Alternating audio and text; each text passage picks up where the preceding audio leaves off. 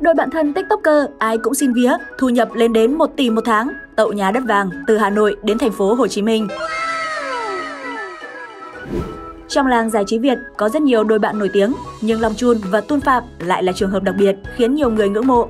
Không gia nhập showbiz qua con đường diễn xuất hay ca hát, cả hai đều bắt đầu từ con số 0 với công việc sáng tạo nội dung thông qua các nền tảng mạng xã hội. Sau đó họ lần lượt đón nhận thành công sau nhiều năm cố gắng, hái trái ngọt với những cơ ngơi của riêng mình ở độ tuổi còn rất trẻ. Long Chun từng gây choáng khi chia sẻ về thu nhập lên đến 1 tỷ một tháng, đến mức nhiều người hoài nghi rằng anh chém gió. Thực tế, Long Chun cho biết số tiền này không chỉ đến từ công việc như TikTok, Facebook hay YouTube mà còn đến từ việc kinh doanh. Với sự cá kiếm của mình, không quá ngạc nhiên khi mới đây, Long Chun đã khoe chút nhẹ thành quả sau nhiều năm làm việc, đó là căn nhà mới tậu ở thành phố Hồ Chí Minh. Ngôi nhà 3 tầng tọa lạc tại quận Tân Phú mang thiết kế đơn giản với gam màu trắng làm chủ đạo. Dù không có quá phức tạp trong thiết kế, nhưng ngôi nhà nằm ở vị trí đắc địa với mặt tiền rộng lớn, không gian rộng rãi, thoáng đãng.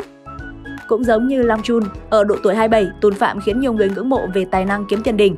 Vào tháng 3 năm 2023, Tôn Phạm tậu ngay một căn hộ cao cấp tại quận Tây Hồ, một trong những khu vực vàng có giá trị nhất tại Hà Nội. Đáng nói đây là món quà anh dành tặng cho bố mẹ mình đã làm nhiều người ngạc nhiên. Căn nhà có diện tích tổng cộng 88 m2, bao gồm hai phòng ngủ và một phòng khách thoáng đãng. Điểm đặc biệt đáng chú ý là ban công rộng lớn với tầm nhìn triệu đô hướng thẳng ra hồ Tây.